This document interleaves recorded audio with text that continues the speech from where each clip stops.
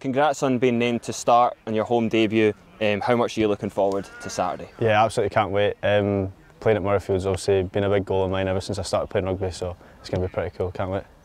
And obviously you were on summer tour with us and your family followed us for the, the full trip but they had to go home um, just before that last test before you made your debut. Explain how all that came about. Yeah, so I got announced in the team on the Monday morning. Uh, luckily I managed to catch my parents just before they flew back. Um, Dad tried his best to come back out but uh, it just wasn't to be so it's going to be pretty cool obviously having them there in the stands this Saturday um, so they'll finally get to see me run it for Scotland which will be cool. Have you managed to, to tell your family that you're going to be in the starting lineup? What have they said? Yeah, I texted them this morning, they're absolutely chuffed. Um, my sister's buzzing, she's coming up from London as well so um, I think there's quite a bit of family come to the game anyway so yeah, it'll be pretty cool.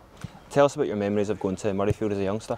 Uh, I used to go pretty much every year. Dad's got season tickets, so uh, used to always be there Six Nations times, autumn internationals, um, and like I say, it's been something I've wanted to do since I was a kid. Um, so.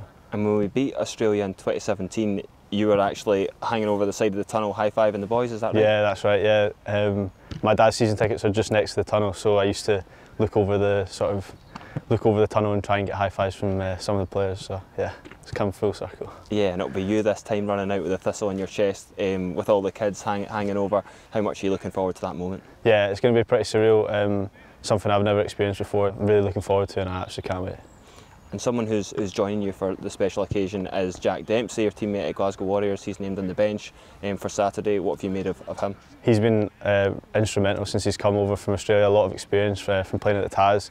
He's obviously such a physical back row, really powerful. Um, and he's been performing at the highest level, one of our best players at Glasgow for, certain, uh, for sure. Um, so he'll be a, a great addition um, to the Scotland squad. Looking back on that summer tour experience, how did you find it? Uh, unbelievable. Um, great group of boys. It was a real close-knit group. Uh, that's what we've spoken about since we've been back in camp now. Is uh, the connections being made whilst we were away, um, and you know you're creating memories as well with uh, your mates on the other side of the world, which you wouldn't really get to do in any kind of job, so, other job. So.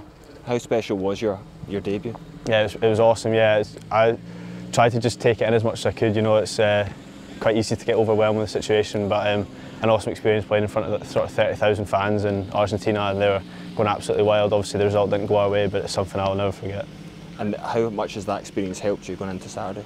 Uh, loads. I feel um, maybe a bit more prepared. Um, feel much more relaxed. You know, um, trying to sort of put the occasion behind me and just sort of focusing on the game, focusing on my own performance and what I can do to help the squad.